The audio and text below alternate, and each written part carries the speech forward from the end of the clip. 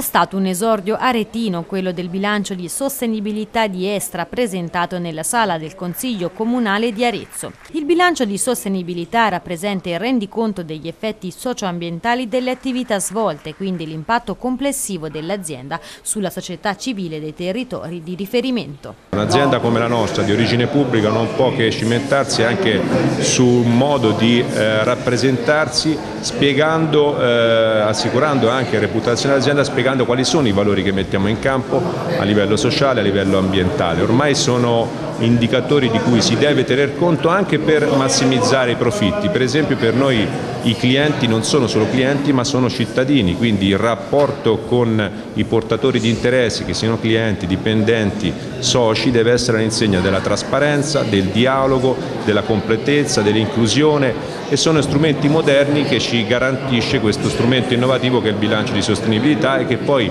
la cui evoluzione sarà il report integrato, cioè dal 2017 per un obbligo di legge derivante dalla direttiva comunitaria dovremo non più fare il bilancio civilistico, quello che serve al finanziatore e all'azionista, ma un bilancio integrato da un'operazione trasparenza, e questa in sostanza è che mette a nudo un po' la società, che fa emergere anche le criticità. Il prossimo passo per Estra resta quello della quotazione in borsa. Manca il via libera del Consiglio Comunale di Arezzo, mi risulta che gli uffici stiano lavorando alla cremente, credo che entro, entro novembre arriveranno i risultati e poi tenteremo questa nuova avventura in borsa per dare più solidità economica ma eh, non perdendo di vista l'origine pubblica di questa grande azienda che è un patrimonio del territorio.